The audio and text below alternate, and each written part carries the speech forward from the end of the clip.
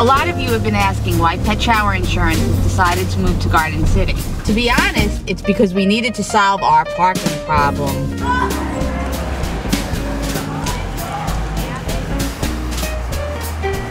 No, but seriously, it's to help make room for our growing company.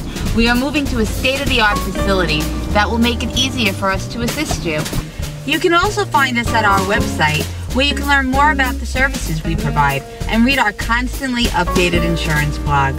We are very excited to continue to provide you with quality service, but now from our new location in Garden City, New York. Oh, finally a spot! Let me move those garbage pails.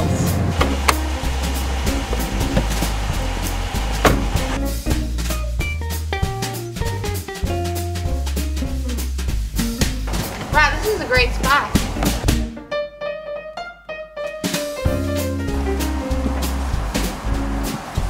Hey, hey, hey! You can't park there. Hey, no, no, no, no! I'm holding that spot for my son. You can't park there. No. Hey, you know what it's like to park around here? Duh! Why do you think I have the garbage pails down? I'm holding the spot for my son. You can't park here. Wow, thanks a lot. Well, here we go again. Well, thanks, folks. Until next time, I'm Sherri, and I hope to see you in Garden City.